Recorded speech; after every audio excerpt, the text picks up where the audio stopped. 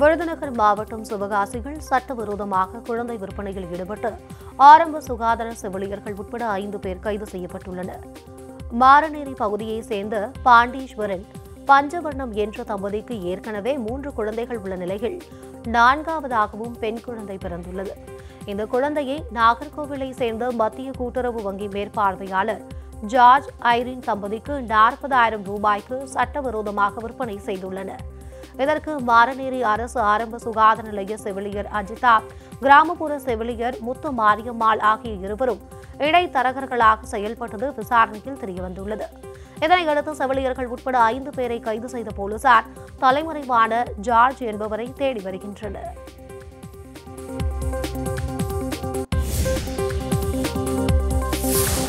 சேலம் மாவட்டம் ஆத்தூர் அருகே mini lorry தடுப்பு சுவரில் மோதி சாலையின் நடுவே கவிழ்ந்து விபத்துக்குள்ளானதில் இரண்டு மணி நேரத்திற்கும் மேலாக போக்குவரத்து பாதிக்கப்பட்டது.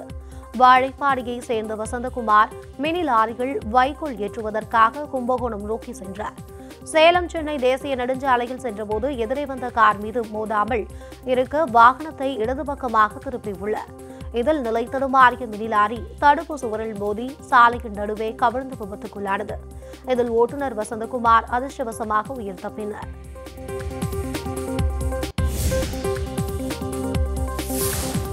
புதுச்சேரியில் கோவில் குண்டிகளை திருடி சென்ற நபரை சிசிடிவி காட்சிகளை கொண்டு போலீசார் கைது செய்தனர். நெல்லைத்தோப்பு புவன்கரே வீதியில் அமைந்துள்ளது விநாயகர் கோவில். இந்த கோவில் முன் வைக்கப்பட்டிருந்த உண்டிகளை மர்ம நபர்கள் திருடி சென்று விட்டதாக உருளையன்பேட்டை காவல் நிலையத்தில் புகார் அளிக்கப்பட்டது. இதுகுறித்து போலீசார் வழக்கு பதிவு செய்து அப்பகுதிகளில் இருந்த சிசிடிவி காட்சிகளை ஆய்வு செய்தனர். தொடர் திருட்டில் ஈடுபட்ட ஜோதி என்பவரை கைது செய்து நீதிமன்றத்தில் ஆஜர்படுத்தி சிறையில் அடைத்தனர்.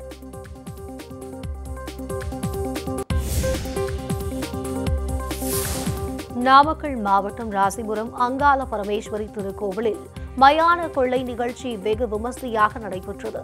ராசிபுரம் ஸ்ரீ அங்காள பரமேஸ்வரி அம்மன் கோவிலின் மாசி மகா சிவராத்திரி திருவிழாவின் முக்கிய நிகழ்வான மயான கொள்ளை நிகழ்ச்சி முத்துக்காரிப்பட்டி மயானத்தில் நடைபெற்றது. இதில் நூறு பம்பைகள் முழங்க ஐம்பதற்கும் மேற்பட்ட ஆடு கோழிகளை ஆக்ரோஷமாக கடித்து பூசாரிகள் வேண்டுதல்களை நிறைவேற்றினர். இந்த மயான கொள்ளை நிகழ்ச்சியில் ராசிபுரம் புதுப்பாளையம் வெண்ணந்தூர் உள்ளிட்ட கிராமங்களைச் சேர்ந்த ஆயிரக்கணக்கான பக்தர்கள் கலந்து கொண்டனர்.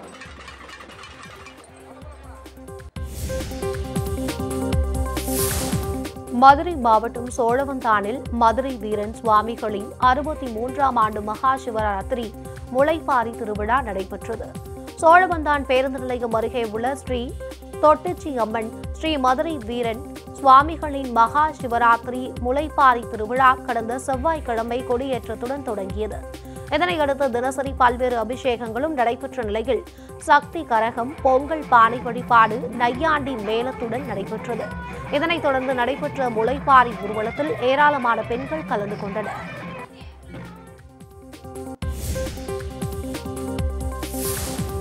திண்டுக்கல் மாவட்டம் வத்தலக்குண்டு வனசரகத்திற்கு உட்பட்ட தாண்டிக்குடி மலைப்பகுதிகளில் ஏற்பட்ட காட்டுத்தீ வேகமாக பரவி வருகிறது. வத்தலக்குண்டு அருகே கோடி ஊத்து தண்ணீர் பாறை பகுதிகளில் ஐநூறு ஏக்கருக்கும் மேல் வனப்பகுதி அமைந்துள்ளது. அடர்ந்த வனப்பகுதிகளில் கடந்த நான்கு தினங்களுக்கு முன் தீ பரவிய நிலையில் வனத்துறையினர் எவ்வித நடவடிக்கையும் எடுக்கவில்லை என குற்றச்சாட்டு எழுந்துள்ளது.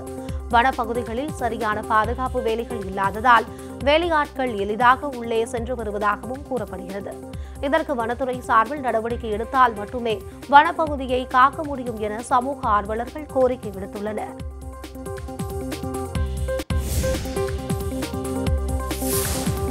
சேலம் மாவட்டம் ஓமலூர் அருகே கிணற்றில் மிதந்த இளைஞரின் சடலத்தை போலீசார் மீட்டனர். ஓமலூர் அருகே உள்ள ராமிரெட்டிப்பட்டியை சேர்ந்தவர் அப்புசாமி. இவருக்கும் இவர் மனைவி ஷர்மிளாவுக்கும் அடிக்கடி தகராறு ஏற்பட்ட நிலையில் ஷர்மிளா குழந்தைகளுடன் தாய் வீட்டிற்கு சென்றுள்ளார். மனைவியை சமாதானப்படுத்துவதற்காக அப்புசாமி அடிக்கடி மனைவியின் தாய் வீட்டிற்கு வந்த நிலையில் கடந்த ஒரு வருடமாக அங்கேயே தங்கி வேலைக்கு சென்று வந்ததாக கூறப்படுகிறது. இந்த நிலையில் கடந்த திங்கட்கிழமை வீட்டை விட்டு சென்ற அப்புசாமி விவசாய கிணற்றில் இருந்து சடலமாக மீட்கப்பட்டுள்ளார். இதுகுறித்து போலீசார் வழக்கு பதிவு செய்து அப்புசாமி தற்கொலை செய்து கொண்டாரா அல்லது கொலை செய்யப்பட்டாரா என்ற கோணத்தில் விசாரணை நடத்தி வருகின்றனர்.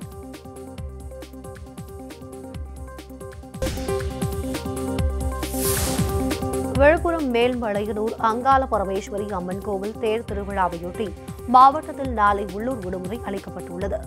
மேல்மலையனூரில் அமைந்துள்ள அங்காள பரமேஸ்வரி அம்மன் கோவிலில் ஆண்டுதோறும் பரமோற்சவ திருவிழா விமர்சையாக நடைபெறுவது வழக்கம். அதன்படி இந்த ஆண்டு மாசி பிரமோற்சவ திருவிழா மார்ச் இரண்டாம் தேதி வரை நடைபெறவுள்ளது. இத்திருவிழாவின் முக்கிய நிகழ்ச்சியான அங்காளம்மன் தேர் திருவிழா நாளை நடைபெறுகிறது. இதற்காக மாவட்டத்தில் நாளை உள்ளூர் விடுமுறை அளித்து மாவட்ட ஆட்சியர் பழனி உத்தரவிட்டுள்ளார். இதனை ஈடு செய்யும் விதமாக மார்ச் மாதம் நான்காம் தேதி சனிக்கிழமையன்று முழு வேலை நாள் என்றும் அறிவிக்கப்பட்டுள்ளது.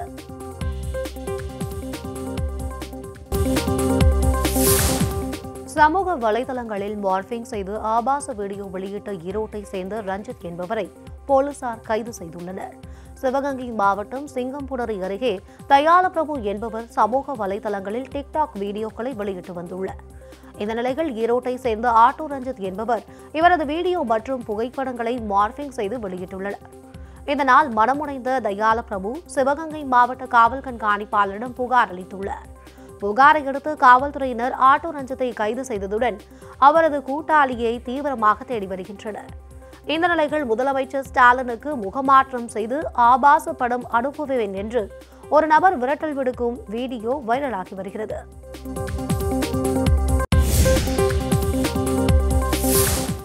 கோவை மாவட்டம் மண்ணூரில் போக்குவரத்தை ஒழுங்குபடுத்த காவலர்கள் இல்லாததால் ஆம்புலன்ஸ் ஒன்று சிக்கி தவித்தது. அன்னூரில் அத்திக்கடவு அவிநாசி திட்டம் திருப்பூர் கூட்டு குடிநீர் திட்டம் உள்ளிட்ட பல்வேறு பணிகள் முடிவடைந்தும் சாலைகள் சீரமைக்கப்படாததால் சாலைகள் குண்டும் குழியுமாக இருந்து வருகிறது. இதனால் அப்பகுதிகள் கடும் போக்குவரத்து நெரிசல் ஏற்பட்டு வருகிறது. இந்த நிலையில் மேட்டுப்பாளையம் சாலை கோவை சாலை சக்தி சாலை அவிநாசி சாலைகளில் சுமார் மூன்று கிலோமீட்டர் தொலைவிற்கு வாகனங்கள் அணிவகுத்து நிற்கின்றன. போக்குவரத்தை சீரமைக்க காவலர்கள் இல்லாத காரணத்தால் ஆம்புலன்ஸ் ஒன்று போக்குவரத்து நெரிசலில் சிக்கி தவிக்கும் அவல நிலை ஏற்பட்டுள்ளது.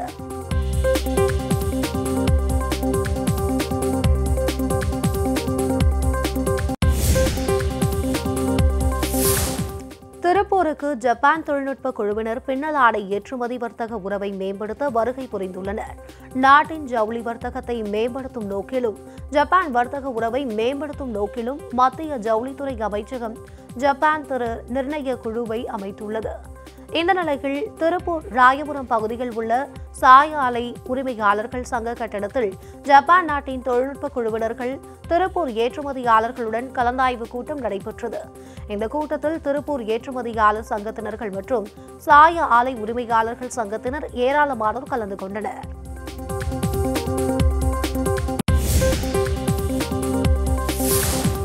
கோவை மாவட்டம் அன்னூரில் நடந்த மக்கள் தொடர்பு முகாமில் ஆட்சியரிடம் மனு கொடுக்க பொதுமக்கள் முந்தியடித்துக் கொண்டதால் தள்ளுமுள்ளு ஏற்பட்டது. அன்னூர் அருகே உள்ள காரைக்கவுண்டபாளையம் ஊராட்சிக்குட்பட்ட கெம நாயகன் பாளையத்தில் மக்கள் தொடர்பு முகாம் நடைபெற்றது. அதில் பல்வேறு கிராமங்களைச் சேர்ந்த பொதுமக்கள் முதியோர் உதவித்தொகை நிலப்பிரச்சினை உள்ளிட்ட பிரச்சினைகளுக்கு தீர்வு காண மாவட்ட ஆட்சியரிடம் மனு அளிக்க காத்திருந்தனர். அப்போது ஆட்சியர் மேடைக்கு வந்தவுடன் பொதுமக்கள் மனுக்களை அளிக்க ஒருவரை ஒருவர் முந்தி செல்ல முயன்றதால் தள்ளுமுள்ளு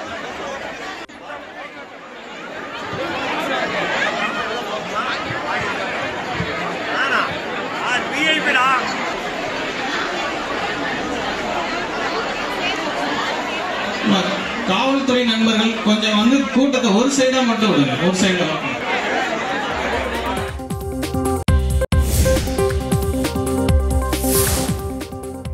மாவட்டம் பல்லடம் பேருந்து நிலையம் முன்பு உள்ள பானிபூரி கடைகள் பணிபுரியும் வடமாநில இளைஞருக்கும் தமிழ் இளைஞர்களுக்கும் இடையே மோதல் ஏற்பட்டது. பல்லடம் பேருந்து நிலையத்திற்கு எதிரே உள்ள பானிபூரி கடைகள் பப்பு என்ற வடமாநில இளைஞர் பணிபுரிந்து வருகிறார்.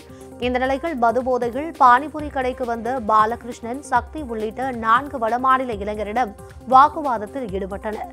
திடீரென வடமாநில இளைஞரும் மதுபோதையில் இருந்து நான்கு பேரும் சரமாரியாக தாக்கிக் கொண்டனர்.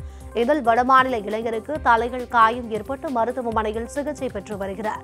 தற்போது அந்த மோதல் தொடர்பான சிசிடிவி காட்சிகள் வெளியாகியுள்ளது.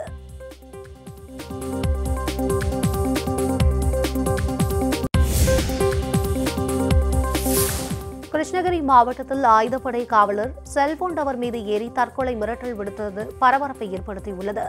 கிருஷ்ணகிரி ஆயுதப்படையில் காவலராக இருக்கும் ஒருவர் உயர் அதிகாரிகள் மதிப்பதில்லை என்றும் காவலர்களின் விருப்பமின்றி எட்டு பேருக்கு பணி மாறுதல் செய்துள்ளதாகவும் குற்றம் சாட்டப்பட்டுள்ளது. இதனைத் தொடர்ந்து செல்போன் டவர் மீது ஏறி தற்கொலை செய்து கொள்ளப் போவதாக மிரட்டல் விடுத்துள்ளார் இதனைத் தொடர்ந்து மூன்று மணி நேர பேச்சுவார்த்தைக்கு பின் பத்திரமாக மீட்கப்பட்டார். இதற்கு முன்னர் அவர் வெளியிட்ட வீடியோ ஒன்று இணையத்தில் வைரலாகி வருகிறது.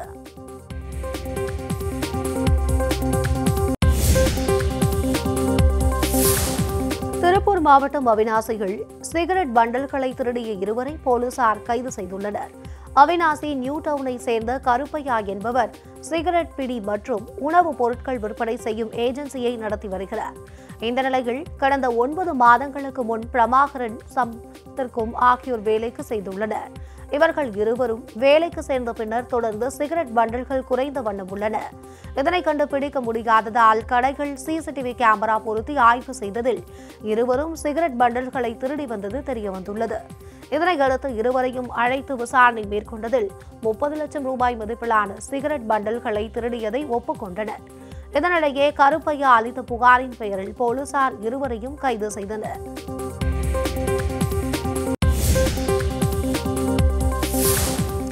திருவாரூர் மாவட்டம் தியாகராஜ சுவாமி கோவிலில் தேவேந்திரன் யானை ஏறுவார் பரம்பரை திருக்கல்யாணம் வரும் மார்ச் மாதம் ஒன்பதாம் தேதி நடைபெறவுள்ளது.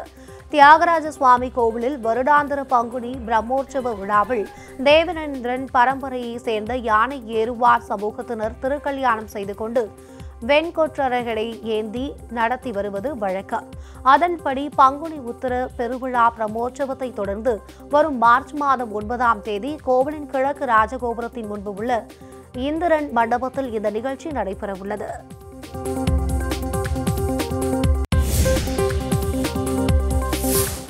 கரூர் மாவட்டம் குளித்தலை அருகே பாப்பையாம்பாடி கிராமத்தில் சுமார் பத்து ஏக்கர் பரப்பளவு கொண்ட கரும்பு தோட்டத்தில் பயங்கர தீ விபத்து ஏற்பட்டது. தகவல் அறிந்து சம்பவ இடத்திற்கு வந்த கரூர் தீயணைப்பு துறையினர் சுமார் ஒரு மணி நேரம் போராடி தீயை கட்டுக்குள் கொண்டு வந்தனர். இந்த தீ விபத்தில் அறுவடைக்கு தயாராக இருந்த பல லட்சம் ரூபாய் மதிப்பிலான கரும்புகள் தீக்கிரையாகின. கரும்பு தோட்டம் வழியாக செல்லும் மின்சார கம்பி உரசை தீப்பற்றியது விசாரணையில் தெரியவந்துள்ளது.